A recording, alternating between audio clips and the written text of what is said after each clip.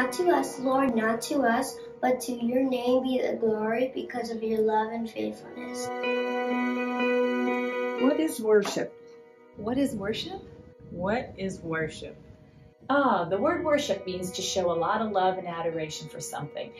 As Christ followers, the object of our expression of love and adoration is Jesus. Worship is what we give ultimate, absolute worth and value to in our lives. I think worship is treasuring God above all else. Worship is the adoration of God through praise so that we can elevate Him higher than ourselves.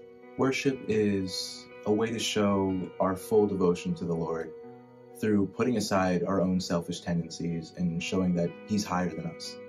Worship is praising, thanking, exalting the one who does for us what we could never do for ourselves. True worship is focusing on God, giving Him the praise, glory, and thanks, all that He deserves because of His love for us and for His faithfulness to us.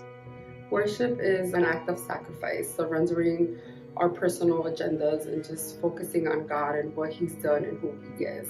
In the Greek, the word proskuneo means to bow down before God.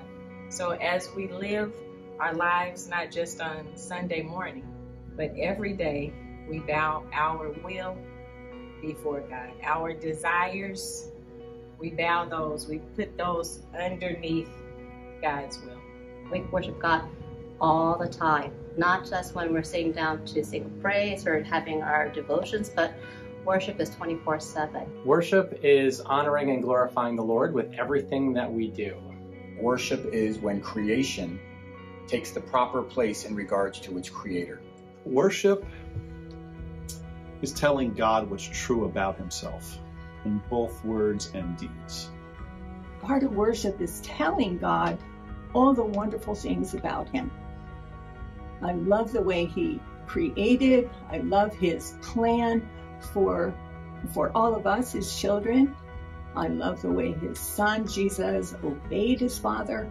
I am so thankful for just the privilege of coming before the King of Kings and the Lord of Lords in worship.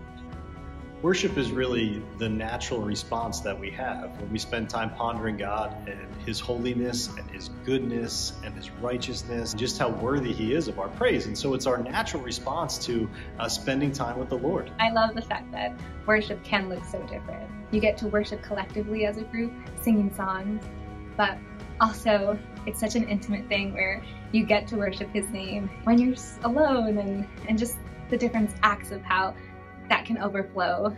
When I have the proper perspective on who God is and I apply that to my life, then worship will flow in my obedience, in my attitude, in my relationships. So I believe worship is just living a lifestyle of doing everything we do for God's honor and glory, but not for our own.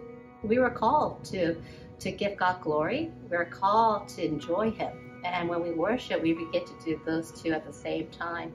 And what better place to be found than to worship the Lord? I'm acknowledging who God is. I am in wonder of His being. I think that's the moment where we actually step into humility in a pure way.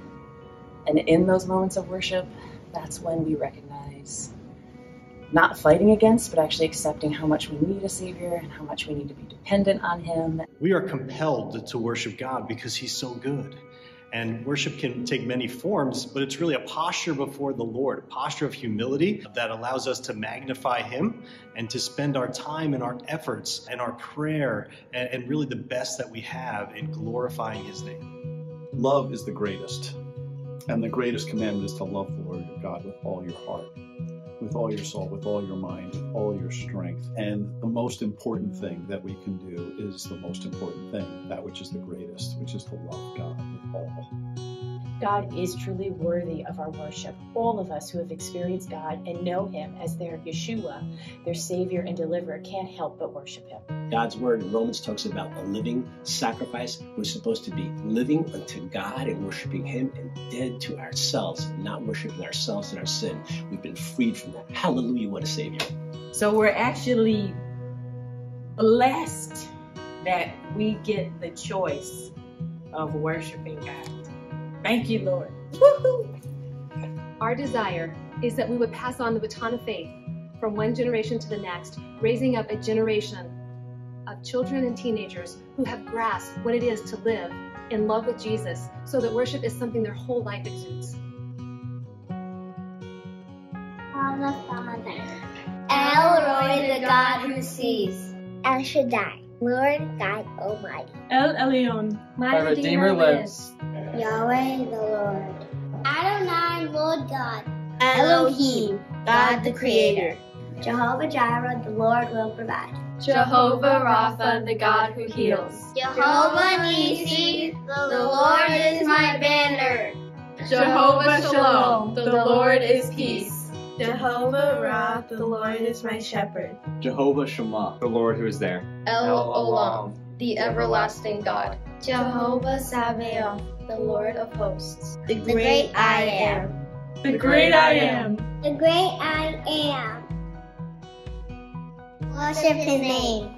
Worship his name. Worship his name. Worship his name. Worship his name. Worship his name.